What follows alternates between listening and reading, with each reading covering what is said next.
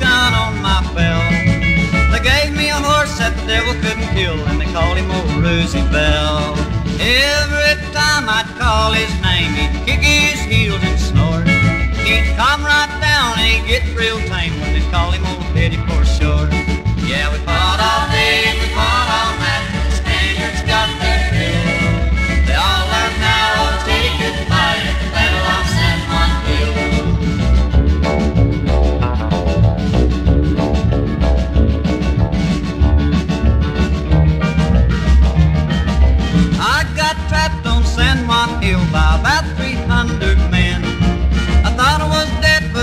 shook his head and then the fight began.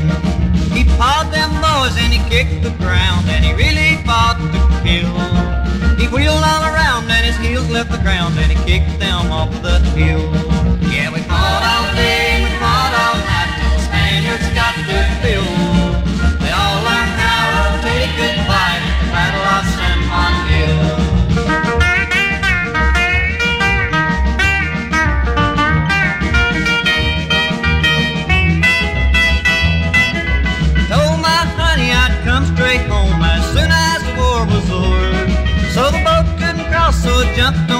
And I headed for the Texas shore.